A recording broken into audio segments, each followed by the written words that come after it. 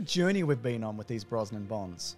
It's been an epic tale, hasn't it? Do you feel like they reflect life because it starts off and you're feeling pretty good about yourself, and then hmm. things go on and you're like, do I hate everything that's ever happened? My goodness, this really did have an effect on you. It certainly did at the time and now. Please leave a like if you could. We've done all the bonds. We've done all the video games. That's coming up in this also. I mean, not all the bonds. No. There's many more bonds to go. oh boy, is there. From earlier in the history of the world. Yeah, yeah, But I yeah. feel this more is a journey of a man just seeing what he can get away with in his life and just slowly getting like creepier and more lecherous. yeah. And just drinking harder and trying less, you know? I'm talking Bond, not Brosnan. Like Oh no, you can't fault him. Yeah. For these movies, really, he's good in all of them. Well, straight out of the gate with the gun barrel sequence. Yes. When you see the bullet whiz towards you and That's- past the camera, that's when you know. This ain't your grandpa's No. Bond movie anymore. That's i yeah, absolutely. This this is the first and only time the, in a Bond movie that the bullet comes out of the gun. Like we were so used to it at this point. We're like, well, nothing's gonna thrill us. We've seen everything Bond has to offer. Oh, One of the things I really dislike about the worst Bond moments Yes. is how he's inexplicably good at things that he shouldn't be good at. give me an example. Surfing. It's just he's just Yeah. surfing it at the start. He's The surfing MI6 into surf Korea. team. Yeah, that's right. Uh-huh. That being said, though, the opening sequence of this, where he infiltrates the army and he's selling arms and he's wearing his cool shades and all the hovercraft and the chase and all that, I feel all of that is classic Bond. Yes. But then, when he gets released, that's when the wheels really fall off this. Hmm. It's the song. The song lets you know it's the worst song ever written. Do you think the song was a curse? It may make a curse, yeah. There are elements of this where I go, oh, okay, I see where they were going with this. Again, this is they're borrowed elements from previous Bonds. This is meant to be Roger Moore silliness. Yes. Like if, if they gave a Roger Moore movie a budget of hundred million dollars, Yeah. this is what they would have come up with ultimately. And so some of it, I'm like, oh, I, I kind of get it, but the idea that this is still the Bond of Goldeneye is absolutely thrown out Yeah. of the window. Just quickly getting back to the song though. I'm not a musician Yes. at all. My knowledge of music is limited at best. And what and what happened to you here is now you'll never be a musician because this disrupted something in your broken brain. my brain. But genuinely though, are there missing notes and words in this song? Because it feels like like they've just cut out random parts of this song. I think that was maybe kind of cool at the time. Madonna's always been about embracing the latest musical trend. And she kind rapped that time. She, abs- yeah, that's for sure. I'm drinking a soy latte. I get a double shot. She's also song. in this, and I think she's fine in her in her limited screen time. Yeah, she's, sure. as she's the fencing instructor. There's some wonky as shit CGI in this. Oh yeah, I mean, like the bit where they're fighting on hovercrafts, it's very clearly they're just standing in a nothing Yeah. space. We may as well talk about it now, but the windsurfing sequence might Yeah. be the dumbest thing in cinema. I've referred to it here as the rocket car laser chase parasailing bit. I also feel like the gadgets and tech here just get way out of hand. He mentioned something interesting.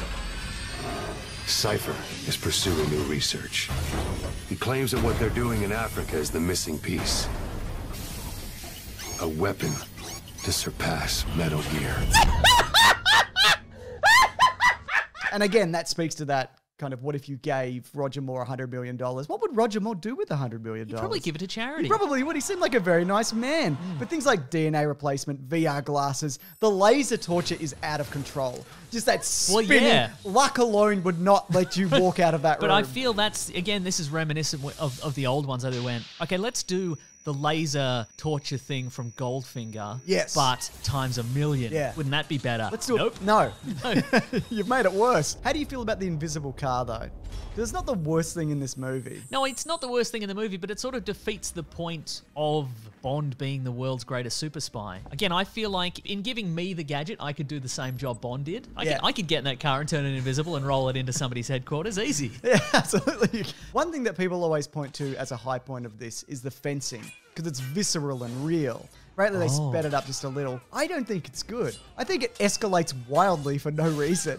They're just smashing through each other and, and Yeah. suits of armor and glass cases. I also don't buy the villain's plan at all. The fact that they've completely altered his DNA so he's a British white guy. Yeah. And I also kind of like the idea that he did model himself on Bond. But the fact that this guy literally fucking drops out of the sky from nowhere and he's getting Yeah. a knighthood and he's the talk of the town. Does anybody want to look into this guy for even a second? Here's the thing. Look, I want to talk about everybody's plans. First of all, in rewatching this, Diamond Face's face Yeah. doesn't have nearly as many diamonds in it as I remember, and they're not as impressive as I remember either. And also, why didn't anybody take him out? They're He just on the surface. He was in prison for like months. he was in MI6 custody and they didn't take him out. They're like, no, I better keep those in But there. they're literally just sitting on the surface of his skin as Yeah, well. mhm. To your point, Gustav Graves, he he does come out of nowhere, and I think at the time I'm like, that makes no sense. How did how did they not? How did MI6 not dig deep enough? Yeah. But in modern times, the current Prime Minister of Great Britain will not confirm or deny how many children he has, and people are still like, that seems fine.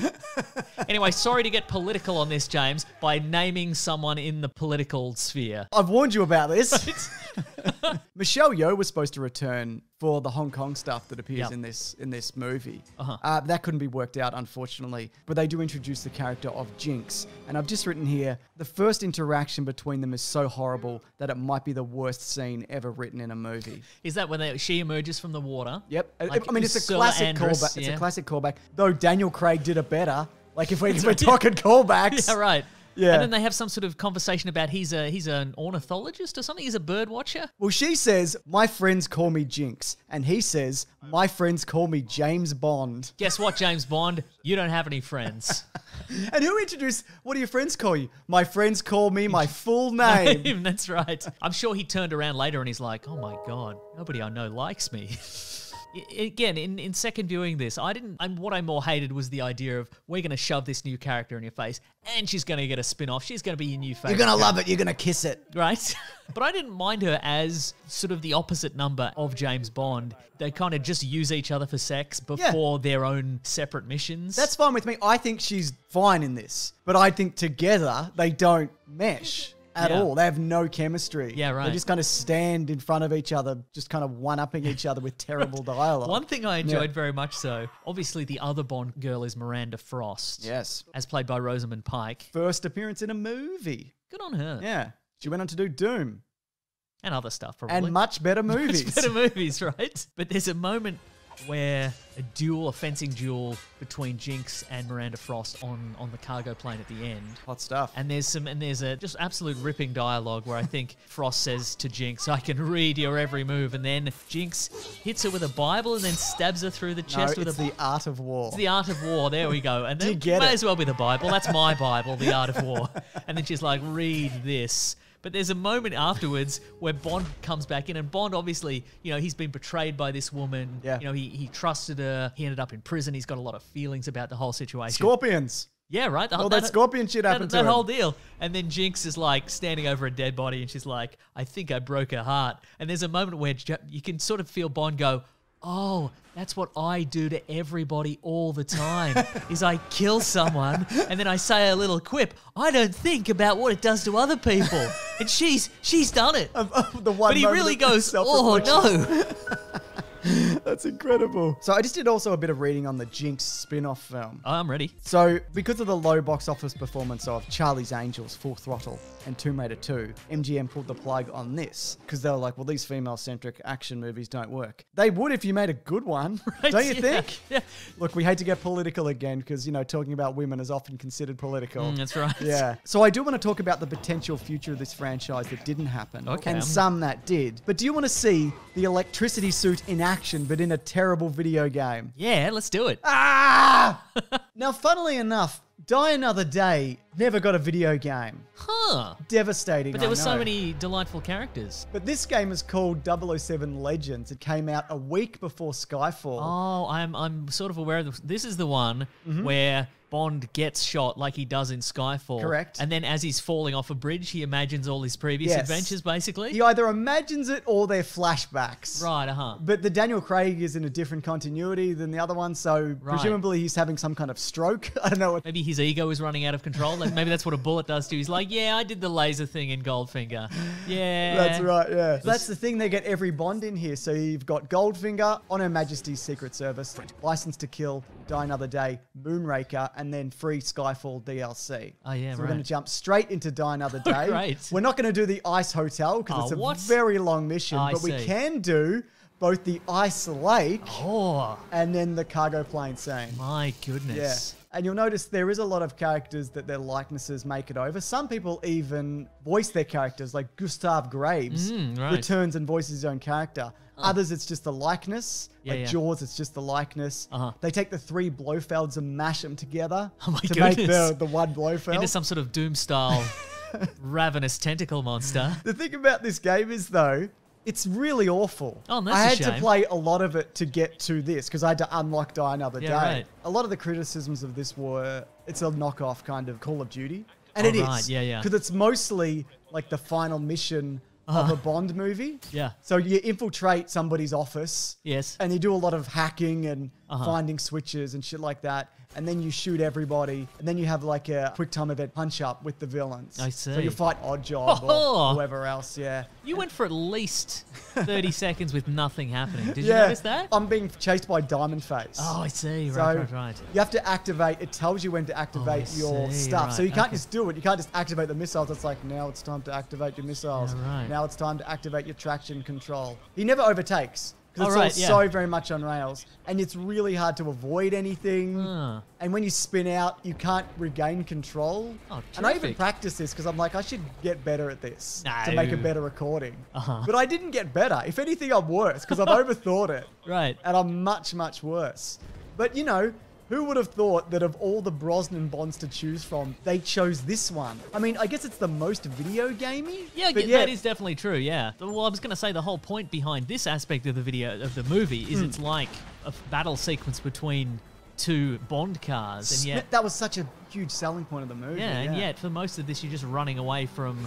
Oh, you're still doing it. You're just running away from like a targeting. Yeah, computer. but now I got to target him. Oh. But it, you can't just openly fire on him. You have to line it up. Anyway, I'm avoiding the space laser and I'm doing this, and Diamond Face is about to meet his diamond demise. Not in a weird pool of blood that spills up from the chandelier falling. Yeah, on right, uh-huh. He just gets hit with a big laser. So I would, li- I would really not recommend this. Ah. It also every mission feels like the final mission of a game, but not in a good way. It's Ah. all climax, which is bloody Bond. Am I right? Am I right? But this is also Eurocom. They did the last game we did last week. which wasn't bad if I recall. Yeah, it's okay. And they also did a GoldenEye Reloaded, Uh-huh. which is like a remake of GoldenEye because they Yeah. couldn't do it exactly. Anyway, here's Diamond Face. Oh, that's the famous. That's the famous Ram. It's the famous movie. Ram.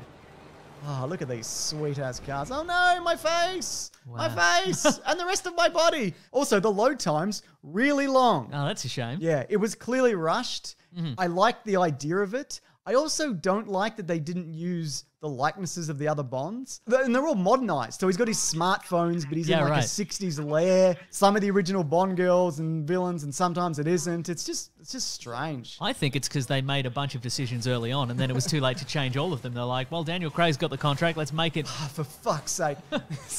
yeah. Let's let's modernize this." And then they're like, "Oh, do we have enough artists to modernize all the layers? No. Okay, then. Well, James, you probably I did probably it. Probably did it. Nice. It's also not the voice of Daniel Craig, though it's pretty good. He kind of Okay. nails it. Because at first I'm like, oh, bloody hell, Daniel Craig's really phoning in on this one. But then I'm Uh-huh. like, the guy who's playing Daniel Craig is doing an excellent Daniel Craig phoning it in. Right. He's really nailing They're it. like, they're like, okay, guy who's doing the voice. You, you've, you know, you've got your incredible Daniel Craig impression. Well, do it, imagining that you've still got another Bond on your contract and you don't want to do it, and also you're doing this video game for some reason. Did you see Jinx? Do you remember the character Jinx? Yeah, when's when's Jinx going to appear on screen?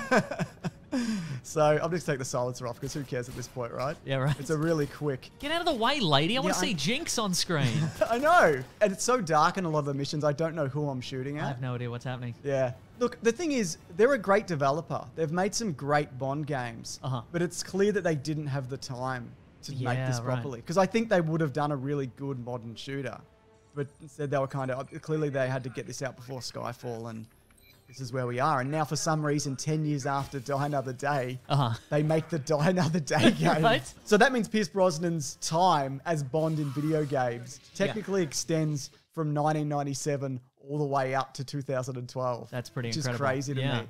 I mean, that being said, this is a? I would say, yeah. I mean, it's bad, but as apart from GoldenEye, this is his most memorable Bond, for good or Well, de- that's true. 'cause definitely ill. That's a lot of that is kind of colored us looking at these movies. Yeah. To be honest, yeah. Because I just remember all the dumb things. And watching some of the other ones, specifically the first two, I'm like, there's some good stuff here. Yeah, yeah, Yeah. But sort of, it was sort of that middle era where you, you, I think, asking the general public to name something that happened in that. They'd be hard pressed to think of Oh, anything, you know? not wrong. He couldn't shoot lightning in the, in the movie. Well, we're not playing the movie. We're playing the We're playing the- exciting video that's game. true, yeah, yeah. Do you want to give me a prompt? Thank you. So I have to wait till he kind of it gives me. It's uh, it's this mission's over by the way. Like I've won. Oh, right, It's uh-huh. just a series of very small prompts. What if you don't understand QuickTime events, though? Well, believe me, I've done this a million times to get here. I understand it. It's just a terrible boxing mechanic. All right, So uh-huh. you just it tells you exactly what to do and you do it.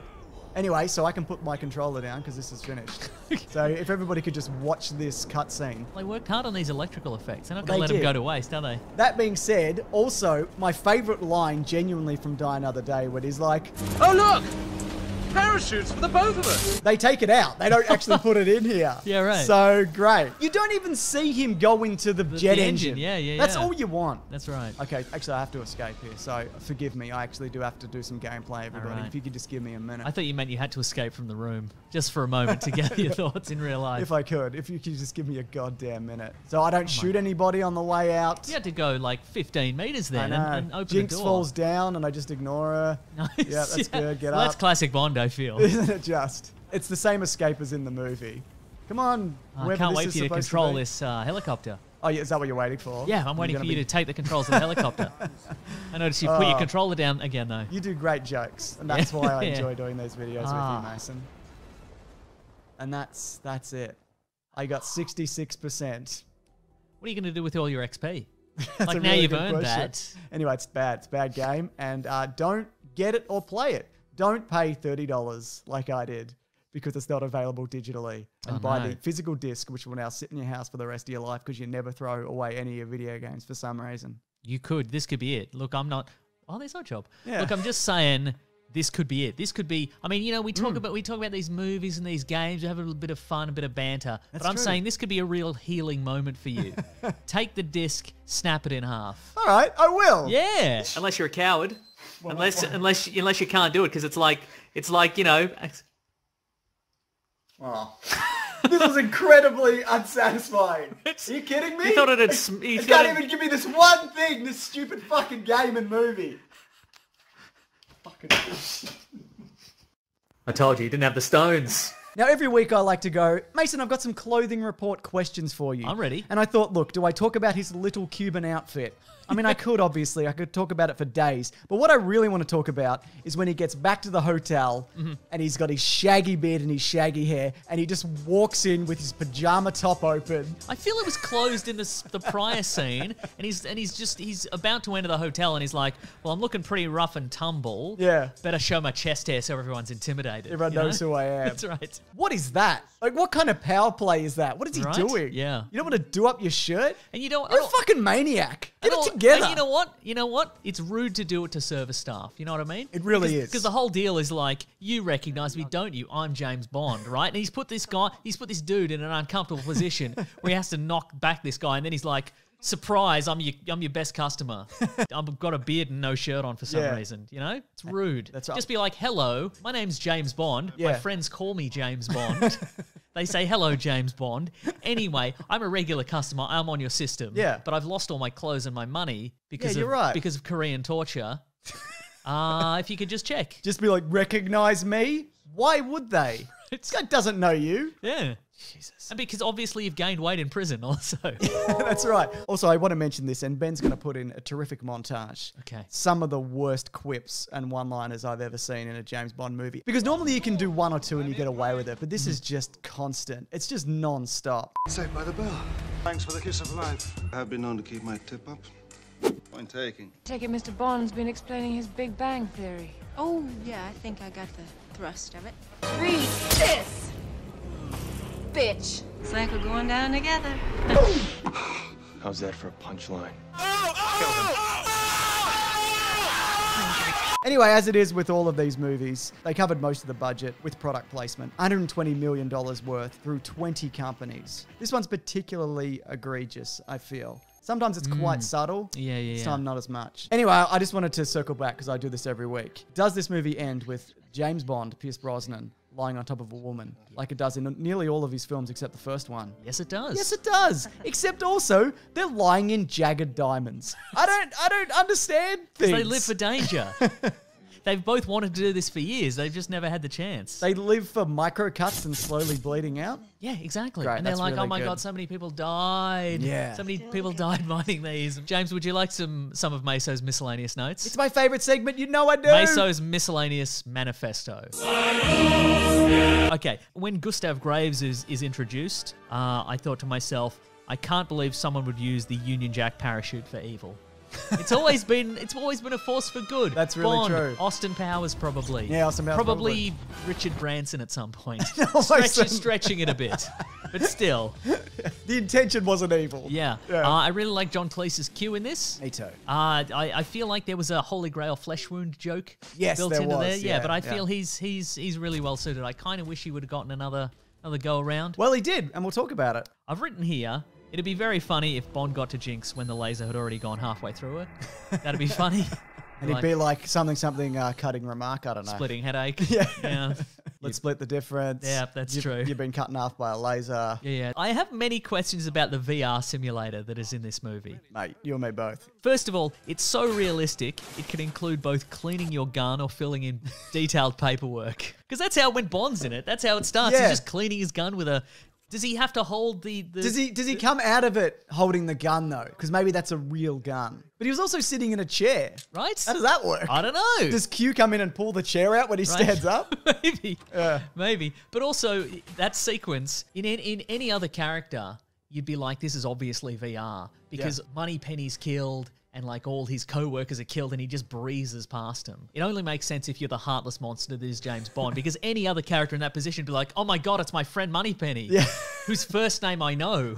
But I And finally they get it on Yeah, that's right. But, it, but yeah, she's Gross. filling in she's filling in like a full mission report. Did they make her do the She's whole really thing? into it. Do you know what I oh, mean? I guess. Oh, yeah. That's that's yeah, Yeah. yeah, yeah. She can't get off unless it's the, whole- all it's the, the thing, details are yeah. in there. Yeah. Uh, there's a point at which uh, Bond is infiltrating the resort laboratory situation. Oh, yeah. I've just noted here. It's very handy when security cameras have external power cables that you can remove without getting caught on camera. Uh, look, I do have a note from last week. Yeah. Uh, if you'd like to put this in somehow, I don't know. It's gonna go right here. My god. All right, perfect. Look, in the previous movie, the action kicks off when a bunch of money is primed as an explosive. Oh, yeah. And then then a, a, a hit, hitman's target sort of walks in and, and sets off a radio transmitter that blows it all up and he dies. He discovers that uh, the money is explosive because it's been treated with uh, with something containing urea. They make a, a point of that in the in the briefing. They say, "Oh, the explosive was uh, it contained urea." Um, I, I didn't say it at the time, but that's the primary component in P. So so Bond spends a significant point. He spends almost the entire action sequence pursuing the the, the assassin with P on his hands. Maybe that I'm was his own pee and he didn't admit it. And he was like, yeah, that definitely had it had piss on it. he pissed on his hands. Yeah. He didn't wash his hands. He did. He pi- look, and, and also he, he gets ice out of the Yeah, he gets does. ice out of the ice container. He puts it in his drink. His drink had pee in it. Anyway, can this be a separate video? Just put this up. Just a little extra note. So, on the future of this franchise, Uh-huh. Pierce Brosnan has talked about this recently. But I Yes, also- Brosnan. Pierce Brosnan, yes. Pierce Brosnan recently came out how he met with Tarantino about a follow up. That's uh, right. Which I remember also happening at the time, and Tarantino wanted to take it back to its roots and do it kind of a more retro themed Bond movie, which is where I want the series to go. I want it to go back to the 60s. Obviously, that didn't work out. He also mentioned in a GoldenEye watch through recently Oh, yes. that he'd definitely come back as a villain if asked. Would you return as a villain? If asked, yes. which has never been done before, which I think could be really interesting. But the other thing is, this isn't his last performance as James Bond. The same with Q or R, because in the game Everything or Nothing, which we have covered in Caravan Yeah, of that's Garbage, right. That is the last Pierce Brosnan and James Bond role. Oh. Yeah. Oh. I thought you were going to say because they they rep- reprise their roles in a Visa commercial or something. yeah, well, they also do that.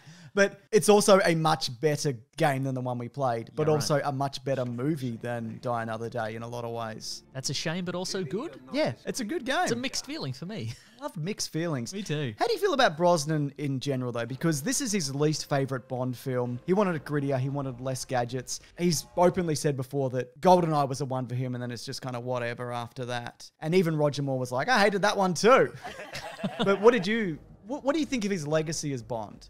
I think it's more solid than I remember it being Same, at yeah. the time. And There's that's at prob- least at least two very solid ones. Yes, and that's also hindsight because when you're living in it, it's hard to. You don't have that perspective on it. That's true, Kind of yeah. looking back, but Yeah. yeah. I think he did really well in the role, to be honest. Yeah. in some pretty shitty films. Yeah, I think I think he was kind of at the mercy of again the Bond formula, which is which is sort of reaching for stuff that is popular at the time, Yeah. and also just looking back at the old franchise and being like, what what what did people like in the old stuff?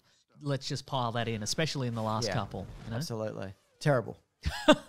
Anyways, we did it, didn't we? Yeah, we did. Oh my god, what a what wow, it's a lot, wasn't it? I mean, we'll put that we'll put this out, and then the news will be like, uh, MGM discovers long forgotten fifth Brosnan Bond movie. We filmed it, and we just forgot about it because it was so bad. I really hope not. As we're wrapping this all up, I want to give a huge shout out to the James Bond Visual Archive. It's this incredible YouTube channel that has literally every behind the scenes video that you can find. It's massively helped us all, especially Ben who edits these. Links below, check him out. But yeah, look, if you do have any suggestions for Caravan of Garbage, please hit us up. That would be great. We're always running polls at patreon.com slash Mr. Sunday Movies if you want to choose what's up next. Here's a hint for what's happening next week though.